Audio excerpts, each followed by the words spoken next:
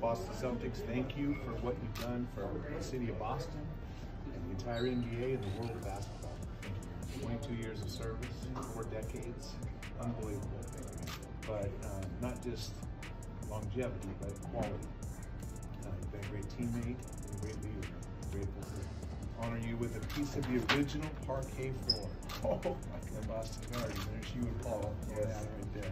It's probably a software shop. Is that right? First made basketball. Nice. Very cool. Thank you. Good.